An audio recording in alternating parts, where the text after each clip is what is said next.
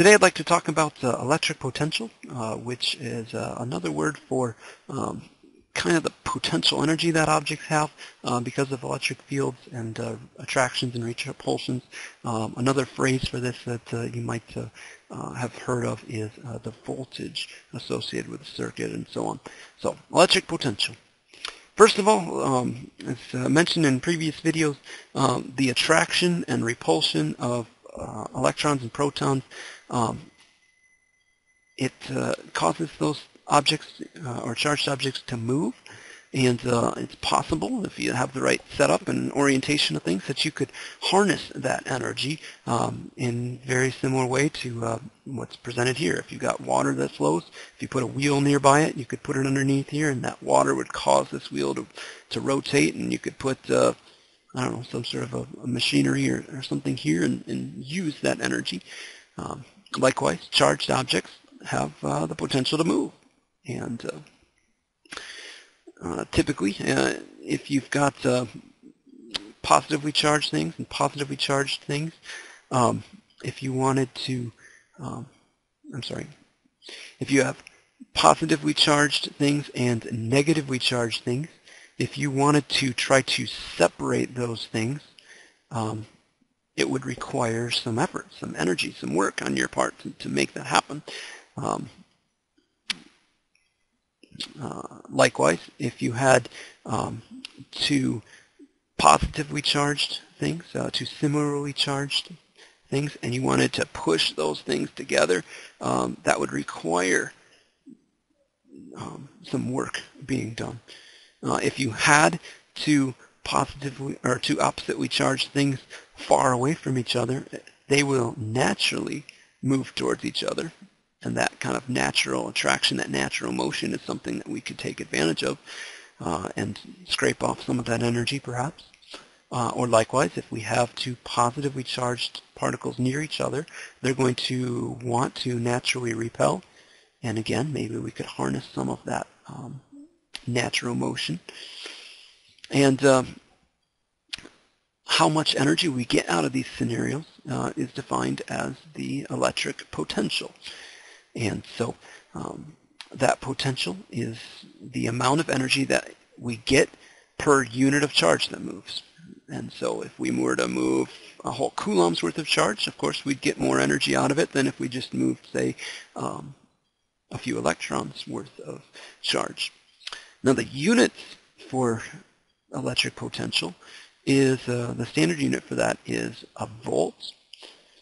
And uh, a very useful um, equivalency um, that I often will think of uh, whenever I say the word volt, I will often say joules per coulomb. How many joules do you get per coulomb that moves? So uh, one volt means that you get one joule of energy out of every coulomb uh, that moves. So the symbol, not the unit, but the symbol that's often used uh, is the letter V. Uh, and almost always you'll see that uh, voltage has some letters associated with it. And that's uh, important to note because uh, when you're talking about voltage, you're talking about how much energy does it take to move from one location to another. So from A to B, how much energy would be produced uh, per coulomb or, or, how much energy is required per coulomb when that happens. So the general formula or calculation is uh, electric potential or voltage is uh, calculated by figuring out either how much work is required per amount of charge or uh, in general just the amount of energy that uh, you get out of uh, or uh, put into moving charge. So a lot of times we know the voltage already. Um, it's given to us. It's written on batteries, for instance, a 6 volt or a 1.5 volt battery. Uh, and often we're interested in how much energy we get out of that. And so a helpful rearrangement of this is that uh, the energy that you get out of uh, a setup is equal to how much charge there was that moved times the voltage um, between two different locations. So let's do some calculations.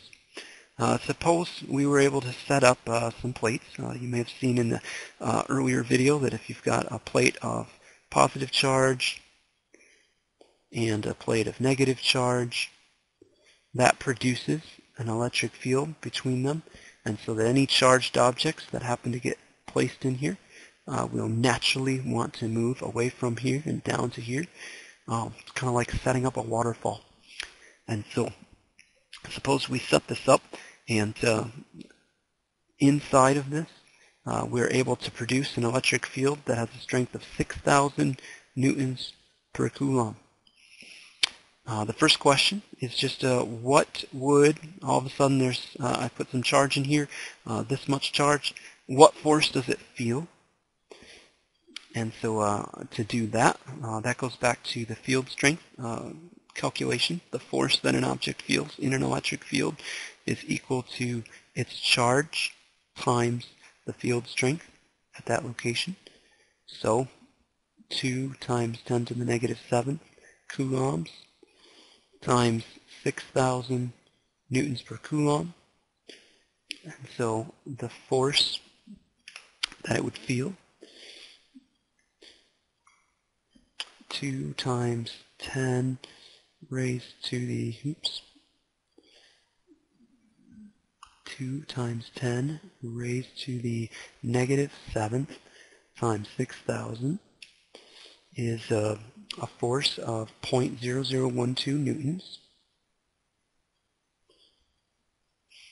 And uh, then the question is, how much work would it take for me to lift that charge from here to here. Once it's fallen, if I had to lift that back up again, how much work would that take? So work, you remember, is force times distance. And so if the force is uh, this 0.0012 value, and uh, the distance between those plates uh, is given to us here as 0.8 centimeters,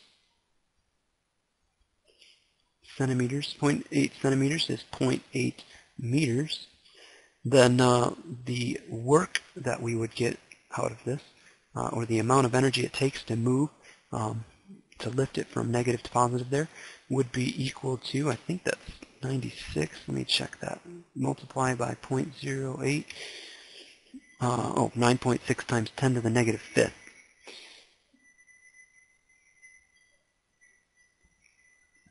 So 9.6 times 10 to the negative fifth newtons. Uh, that's how much it takes to lift this amount of charge up. Now, if I had more charge, then it would require, oh, I'm sorry, did I say newtons? Uh, this is newton meters, so this is joules is the standard unit of energy. I should have caught that earlier. So, uh, but anyway, it takes that many joules to move this much charge. Uh, this is just an arbitrary amount of charge that I, I picked out of, uh, out of the blue. Uh, it could have been anything. Maybe it's a whole lot more. Maybe it's a whole lot less. Maybe it's just an electron. How much energy does it take to move a single electron? Uh, or maybe I have an entire coulomb's worth of charge. Um, how much energy would that be? And in fact, uh, since it's so arbitrary, that's usually what we'll talk about is, is how much energy does it take to move a coulomb's worth of charge. And so um, that um, would just be if I took this one, uh, this number out and put a 1 in its place, then it would be 6,000 newtons. And so instead of this, and I multiply all that together, 6,000 times 0.08 is 480. So 480 joules is required to lift an entire coulomb's worth of charge from here to here. And uh, so 480 joules per coulomb means that the voltage or the potential uh, between these two plates is equivalent to 480 volts. It's a lot of batteries. So, um, in general, uh, meaning if I took away all the um, numbers and just used variables, um, work is force times distance, and force is Q times electric field strength.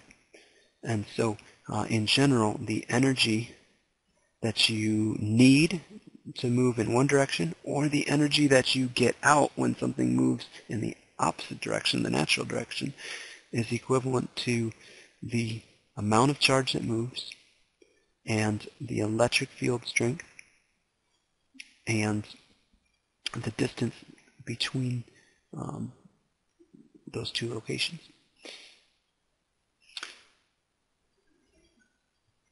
Now, another question uh, asks how much work is done to um, move 0.003 coulombs worth of charge across a potential difference of 1.5 volts.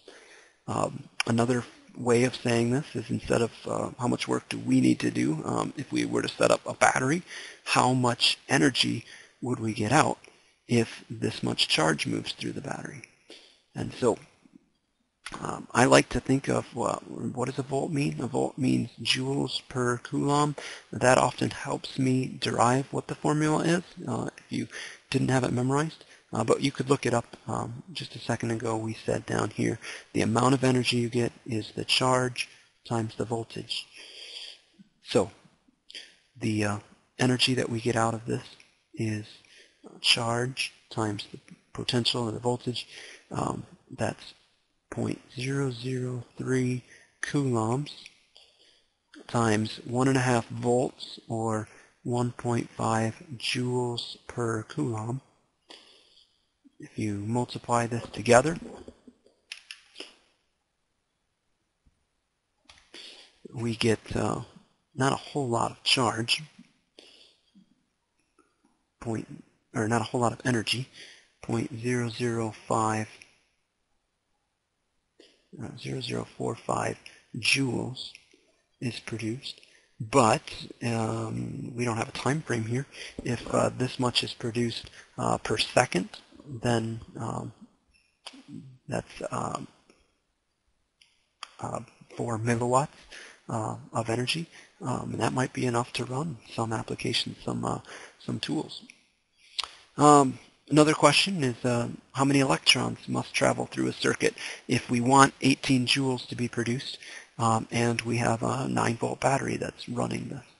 Um, how many electrons is essentially asking a charge and so uh, you could use E equals QV or you could rearrange this a little bit. Uh, the charge, um, the amount of charge that has to move through a circuit is equal to the um,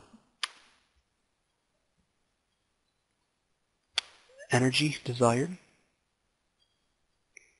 divided by voltage.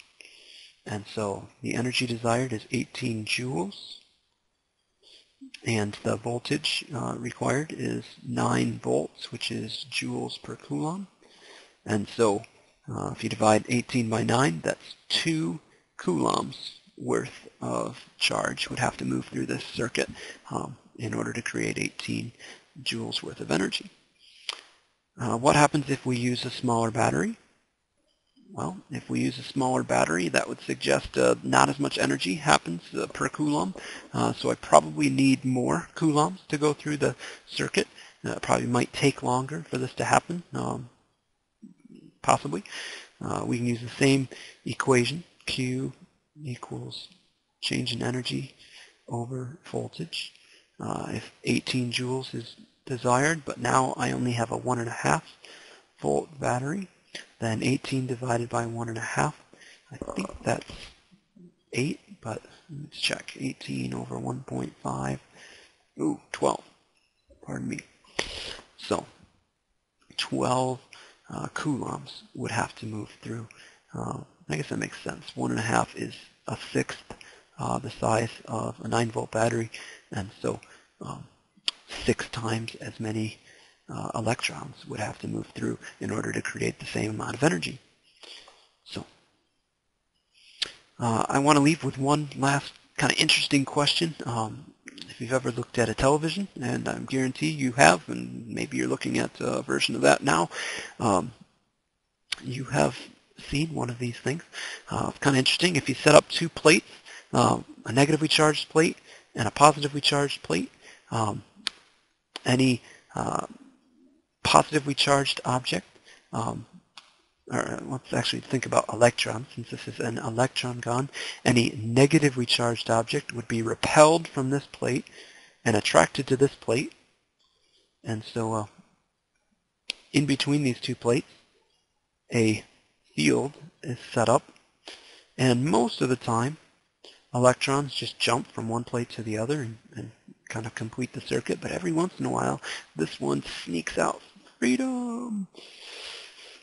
And uh, deep in your television, it's set up so that, uh, at least some of the original ones, um, there were different colored boxes, a red box and a green box, a little blue uh, box or screen might be a better um, word, and uh, you could control when electrons entered these different things, and when an electron hit this red it might glow red uh, or it might glow green or it might glow blue. And when you have um, millions of these in a television set um, these can produce different colored images and pictures and, and so forth. So uh, kind of the, this electron gun apparatus is, is, basically at the heart of a lot of uh, television screens. I think it's called a CRT uh, cathode ray tube maybe um, if you wanted to look up that in more detail uh, but anyway, suppose I've got this set up. Um, what, uh, how fast do these electrons leave? Um, how fast are these bullets going? So uh, there are two approaches you could take to answer this question. Uh, you could say that um, we could figure out the force that's acting on this little electron and then uh, use Newton's law. That's uh, F equals ma to figure out what acceleration this guy experiences and uh, then use some kinematics formulas to um, figure out, all right, if it says that much acceleration um, over this distance and how much time did that take, and we could calculate how fast it's going. Um, I'm going to call that the nightmare option, um, and I'm not going to do that. Or we could use uh, energy. Energy is a lot simpler calculation here. Um, there is uh, um, energy that uh, would take the object from here to here, and if that energy is uh, um, converted into kinetic energy because it's moving, um, we could set up uh, a formula. The energy that's produced in an electric field or the work that's done as you cross an electric field um, might be another um, variable you want to use here. That gets converted into the kinetic energy of an electron. And so the work that's produced in an electric field is the amount of charge times the electric field strength times the distance that it moves. And that is equal to one half the mass of an electron times the velocity of an electron, or of the electron squared. And so uh, we can, uh, let's see, I know how much charge is. I could look up the charge of an electron, put it here. Uh, I know the field strength is 28,000 newtons per coulomb. I know the distance is 4 centimeters. That's 0.04 meters. Uh, the mass of an electron I could look up, and then V would calculate what that is. Uh, rather than calculating that up, because uh, I'm running out of time and I don't feel like uh, wasting your time to look up the charge of uh, a single solitary electron and the mass of a single solitary electron. Let's just take this and uh, solve it in the general case. So multiplying both sides by 2 and dividing by m, you get uh, 2 q e d divided by the mass is equal to v squared. And so if I take the square root of both sides, here is a formula that you could use to calculate how fast um, any object, not just an electron, uh, would move if it was placed in this electric field. Um, that is, if it was released from this plate and traveled the whole distance over here.